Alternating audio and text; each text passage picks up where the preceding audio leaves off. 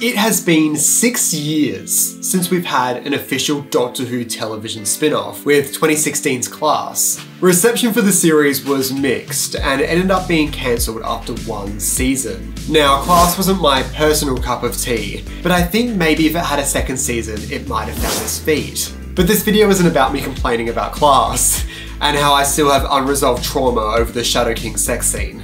No, Instead, I'm going to discuss what would be my personal ideal Doctor Who spin-off.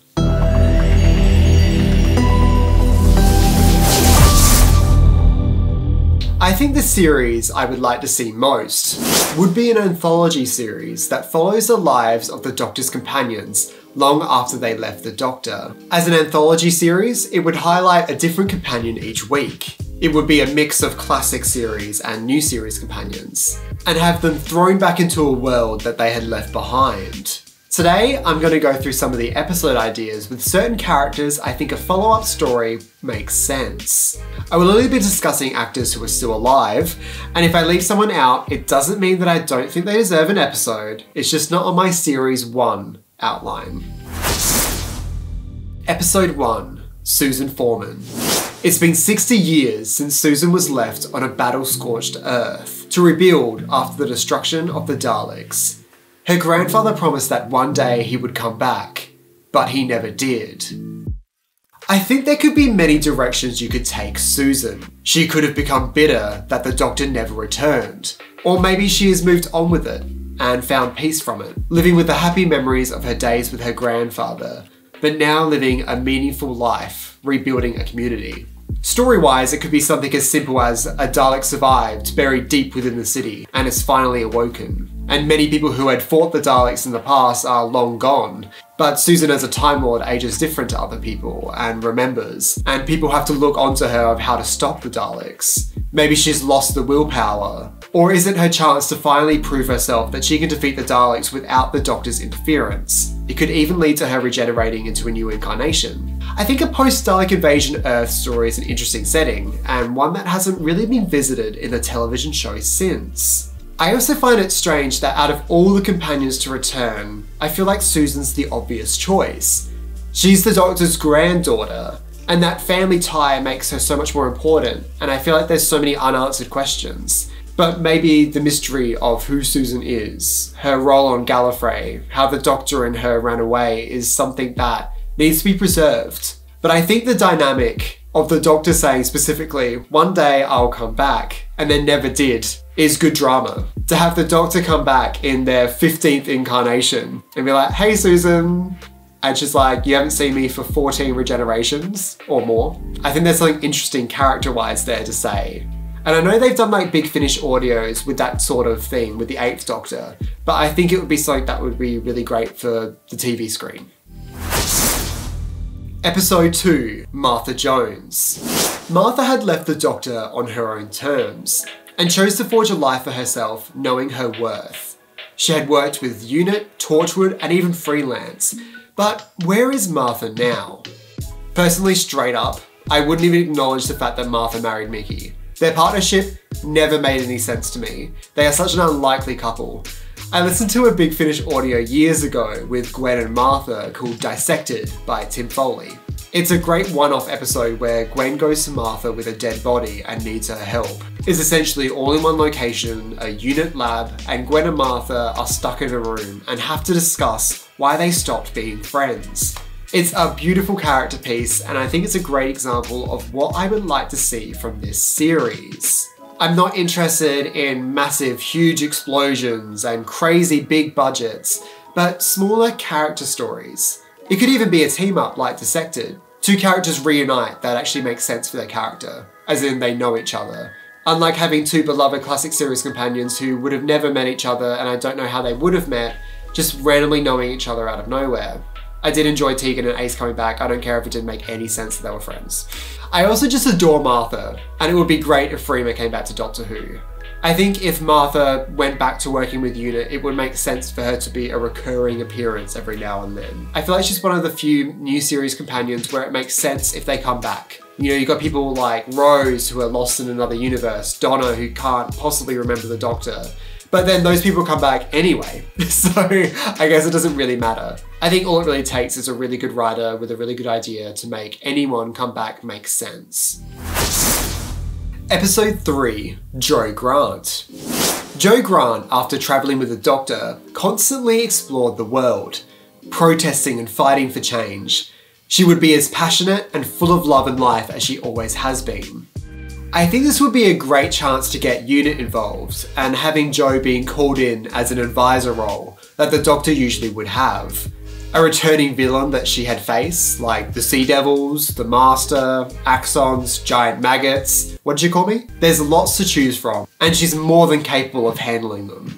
I think her story should have some sort of political or environmental message, something that her character is passionate about. It's not so much about proving herself that she can handle the problem on her own without the doctor, but it should be something that she's fighting for because it's her fight. Maybe a return with the Autons, something about microplastics in our bodies, and the Autons are using microplastics to take over people. I don't know. But I feel like this is something Jo would be super passionate about, and a story that's written for her. I want the series to face problems that, yes, the Doctor could or would solve, but the stories are more tailored than that. It feels like, no, this is something this companion should be fixing. And I think after her appearance in the Sarah Jane Adventures, I feel like most people felt like she's the natural successor to Sarah Jane. Katy Manning is someone who is just full of life and love, and I think every time she's on screen, it's impossible not to smile. So I would love to see her back playing the role. Girl power! Yay! Episode 4 Rose and Jackie. So, we'll bring back Rose for the Rose fans, but all I really want is Jackie back.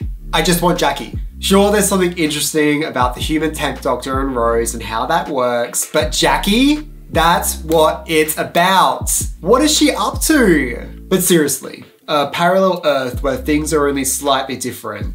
You could tell any story. A twist on a Doctor Who episode where only Rose and the human Doctor could solve it. It could even be a story from Matt Smith's first season, like the Silurian story, but Rose and the Doctor have to solve it instead.